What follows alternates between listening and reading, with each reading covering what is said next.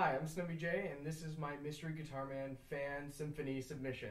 I will be playing on my PVC instrument, and it'll be a range from A2 to an E5. Hope that's okay.